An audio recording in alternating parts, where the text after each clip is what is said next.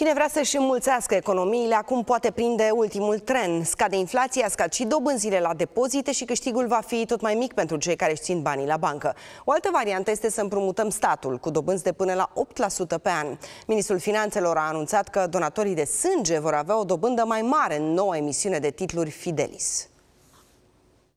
Panica din sistemul bancar și temerile unei crize precum cea din 2008 dau emoții celor care au economii la bănci. Specialiștii îi liniștesc. Dacă, Doamne ferește, se întâmplă ceva cu banca, în maxim șapte zile ne primim banii înapoi, plus dobânzi, minus eventuale comisioane. Păi uitați-vă după bănci mari, după bănci puternice, după bănci stabile. Experiența din alte țări, Elveția, Statele Unite, arată faptul că băncile mari cu riscuri sistemice sunt salvate. Imediat se intervine și sunt ajutate. Banii din bancă sunt garantați în limita 100.000 de euro pentru fiecare client. 11 milioane de români au depozite la bănci. 60.000 dintre aceștia au depus sume mai mari de 100.000 de euro, adică riscă să piardă bani în cazul unui faliment. Singurul risc pe care îl avem ținând economiile la bancă este acela ca randamentul să fie depășit de inflație. Atât dobânda la titluri de stat cât și la depozite se situează undeva în jurul valorii de 8%.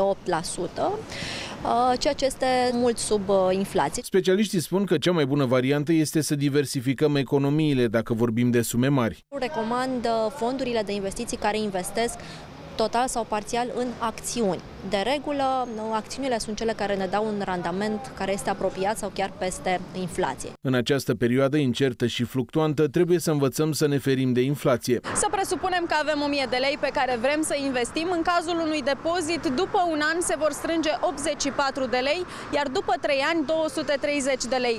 Atenție însă pentru că din cauza unor comisioane câștigul poate fi diminuat semnificativ. Pe de altă parte, sumele strânse în cazul titlurilor de stat sunt similare similare, însă acestea nu sunt impozitabile. Dacă la câștigurile din titlurile de stat avem acces cel mai devreme, după un an, unele bănci oferă depozite chiar și pe câteva luni. De la începutul anului se observă o tendință de creștere a dobânzilor pe perioade mai scurte la depozite, de 3 luni, de 6 luni, în detrimentul perioadelor mai lungi, de un an, 2 ani, 3 ani, uh, pentru că băncile se așteaptă să se normalizeze inflația și atunci, uh, practic, ar pierde dacă ar da aceleași aceeași dobânzi mari pe o perioadă lungă de timp. Cea mai avantajoasă dobândă din piață la depozitele în lei este de 9,3%. Totodată, românii mai au la dispoziție o săptămână să investească în titlurile de stat tezaur, cu dobânzi anuale de până la 8% pe 3 ani. Ministrul Finanțelor Adrian Câciu a anunțat că începând cu 27 martie, donatorii de sânge vor avea o dobândă mai mare în noua emisiune de titluri Fidelis, de 7,7% pe an și că valoarea minimă a subscrierii scade de la 5.000 de lei la 500 de lei.